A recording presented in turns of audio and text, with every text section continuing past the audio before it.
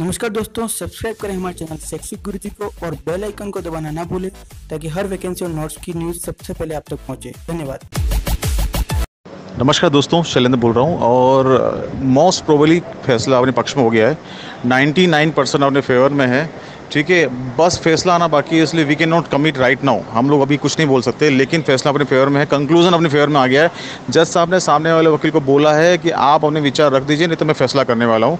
ठीक है तो उनका वकील की अलग कोर्ट में पेशी चल रही है, उस वजह से वो अवेलेबल नहीं थे. उनके जूनियर वकील ने पैरवी किया है और उन्होंने बोला है कि मैं पैरवी नहीं कर पाऊँगा.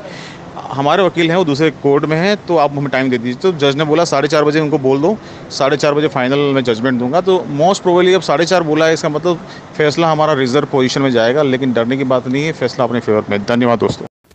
दोस्तों, चार बजे फैसला आ जाएगा, आप चिंता ना करें, और फटाफट से जिन जिन भाई बहनों ने अभी तक सब्सक्राइब बटन पर क्लिक नहीं किया, फटाफट से सब्सक्राइब बटन पर क्लिक करें, और ताकि सबसे पहले न्यूज़ अब तक पहुँच जाएगी। दोस्तों, धन्यवाद।